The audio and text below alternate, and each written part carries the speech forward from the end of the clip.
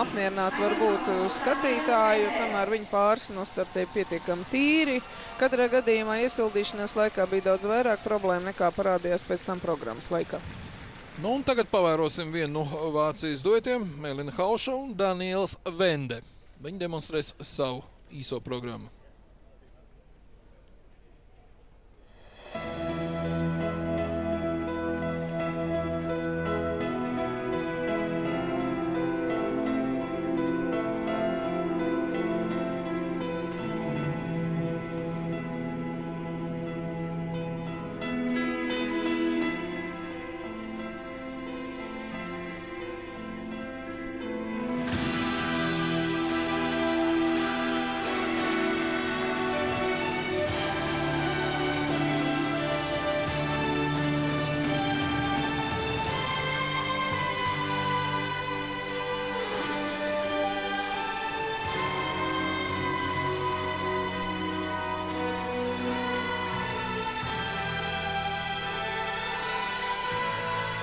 Ah.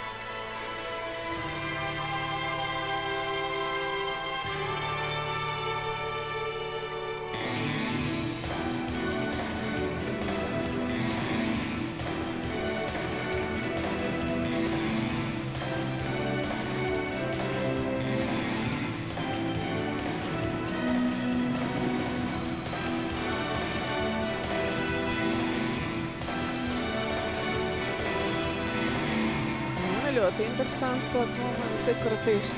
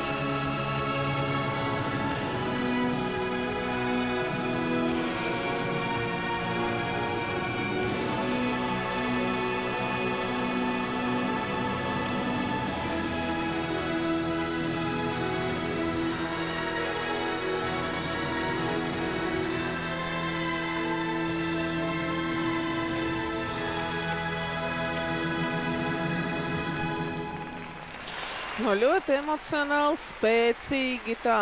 Es nezinu, pat varētu pateikt, tas tā, tā kā tsunami gandrīz vai ļoti aktīva, plaša sākuma daļa, lielisks amplitūdas pametiens, tālāk tikpat lielisks amplitūdas izmetiens, tiesa gan nepārāk precīzi, bet tāds lidojošs ātrums un lieliska dekorācija visā šī programmā bija soļu virknējums, kur bija atkal šis te lielais akcents uz muzikālo interpretāciju. Interesants oriģināls arī atradums, ko daudziem iepriekšējiem mēs tādu neredzējām, bija izpildīti, teiksim, formāli visi soļu virknēm, tur sarežģītākie soļi, pret, pretnovirziens, novirziens un tā tālāk. Šeit tomēr bija padomāts arī mm, par tādu, nu, rozīnīti, ja varētu izteikties. Atkārtojumā varēsim redzēt, ka tomēr nu, ne viss bija izpildīts pietiekami ideāli. Kaut vai šis te pats izmetiens, lielisks augstums, jā, bet nu, piezemēšanās varbūt pat pārāk spēcīgi partners izmet. Tālāk trīs apgriezienu tulups un arī šis te solis turpinot.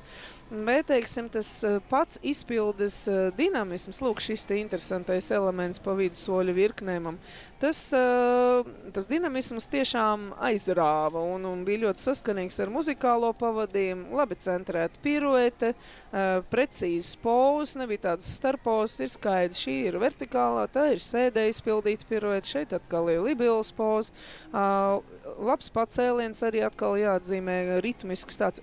Visā, ko viņi izpildīja, parādījās spēks. Tas bija jaušams un likās, ka viņi varētu vēl vienu tādu pat programmu nosūdot tikpat intensīvu, tikpat aktīvu, teiksim, no fiziskās sagatavotības viedokļa gandrīz vai nemanām pagaitās divi ar pus minūtes vairāk bišķi. Ceturto sezonu kopā startēja Melina Halša un Daniels Vende. Eiropas čempionātā startējuši trīs reizes. Visas trīs reizes ir bijuši labāko desmitniekā un labākais rezultāts pērn sestā vieta. Vēl var atzīmēt, ka Daniels Vende ir iepriekš startējis ar vēl vairākam partneriem - Jekaterinu Vasiljevu un Rebeka Hange, ar kuru viņš startējot labāko vietu izcīnīja sesto arī 2005. gada Eiropas čempionātā. Nu, redzēsim, pāris pietiekoši spēcīgs. Tiešām labākais rezultāts viņam arī 54 punkti ko viņi sasniedza pirms pusotra gada Grand Prix posmā Parīzē. Šo sezonu partneri ir bijusi pēdas trauma, kuras dēļ viņi nestartēja vienā no Grand Prix posmiem, proti Krievijā, bet vienīgajā posmā, kur viņi startēja, Kanādas Grand Prix, protams, proti Amerikas posmā, viņi izcīnīja astoto vietu. Vēl šo sezonu viņi ir izcīnījuši uzvaru vienā sacensībās Bavārijas Open Oberstdorfā. Nu, tieši tur sacensību dalībnieku meistarība nebija tik, protams, spēcīga kā, protams, Grand Prix posmos. Nu, ne, bet visnotaļ ļoti labs un, un, un, un arī perspektīvas pāris. Tiešām aizrauja savu šo spēku lidojumu. Varbūt varētu tā viņa nosaukt. Nu, arī laba summa - 54. Jā, jā, jā. 54, 03. Tikai nedaudz. Viena simtaļa labāk nekā viņa labākais rezultāts. Būtu interesanti apskatīties programmas kompetenci. Galvenais pirmā vieta viņiem šobrīd. Jā, būtu interesanti apskatīt.